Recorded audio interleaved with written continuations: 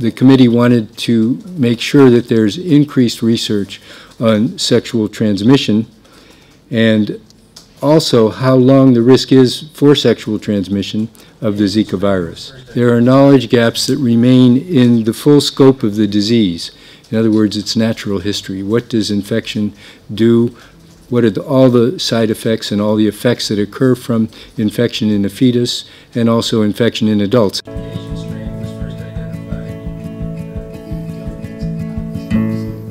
Working with the scientific community, we've learned that Zika has consequences in infants beyond microcephaly to a range of complications, from hearing and eyesight complications to seizures, and we now have called this the Zika congenital syndrome.